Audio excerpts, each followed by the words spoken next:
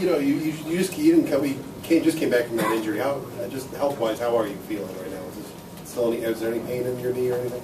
Well, today I feel fantastic. You know, uh, first of all, it's a special day for the, all of us. You know, because uh, it's an Easter day, and uh, I like to talk about that. You know, because Jesus Christ He died for us. You know, and uh, for the all human, it's a big day. You know, Salvation Day, and to be able to play uh, playoffs on on this specific day is a double plus. And uh, I'm really happy to to help my team. You know, you know, and uh, get this first step It's a very important to us. You know, to start the right way. You know, you came in, you went right at Boozer, first, second possession, and kept kind of going at it. How important was it for you to just kind of set a tempo early, get yourself into the game, and go from there? Uh, we talk at that. We talk about that before the game. You know, uh, about how you how you feel about the playoffs. You know, everybody started talking about. Oh, I feel nervous a little bit, but uh, if uh, if I make the first book, you know, the the kind of butterfly in the stomach go away a little bit, and uh, the game, you know, come back in normal. That's that's the way. That's the way you know it's been happening in my life. You know, a little bit. You know, and uh, when you get nervous, you know, you prepare yourself a little bit, a little bit more. You know, you focus a little bit more, and uh, that's what happened tonight.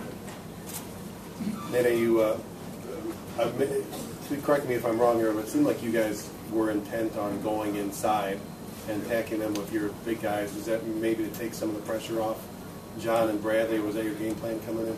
No, uh, I think we play our game. You know, uh, our plan worked really well. Same way we have good big men, they have too. You know, and uh, the, the mismatch is uh, you know the same way they need to defend, they need to attack, and uh, and uh, sides uh, the same thing. You know, uh, we guard them. You know, you know we, we attack them. But uh, the difference was uh, our tempo. I think we push our tempo. You know, and that make a huge difference. You know, in the game, at the end of the game. Uh, Nate, these, these past two years, I mean, you were traded from a playoff team in Denver to a rebuilding team in Washington. To wait for two years to get back in the situation, what's it like to have this moment right now? Like I said, it's a magical moment. Uh, I understand everything what happened in my life, you know.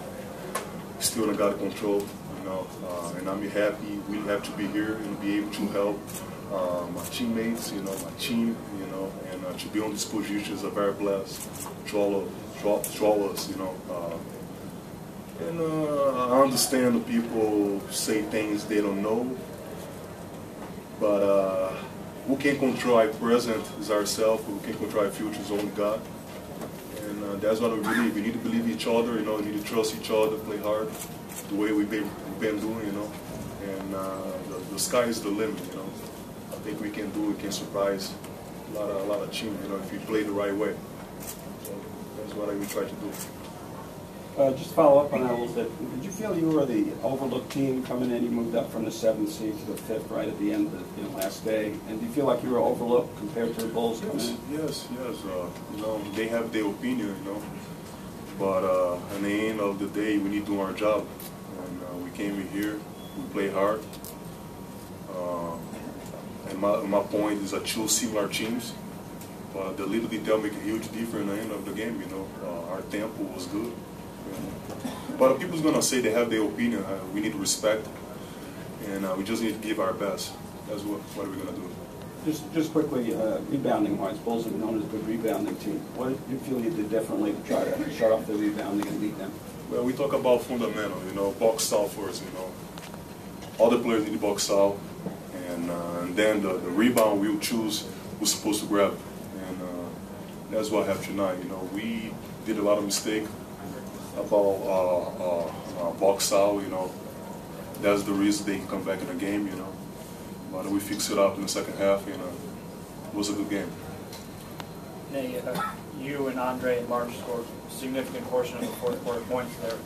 How important was it for you guys to Bradley and John didn't score until the last minute or so, which is only then on free throws? How important was it you guys to carry that scoring load knowing that they had their offense? Yeah, Dre is uh, is a he's a very smart player, you know, and uh, he put uh, not only himself in the game, but he put a, you know his teammates on the game, you know, for his reader. And uh, Gortat, he did really well in the low post attack, playing hard. So they they, they have like a difficult situation right there, you know. And uh, after that, John used his, his, his skill, you know, attacking the, the, basket, you know, making pass.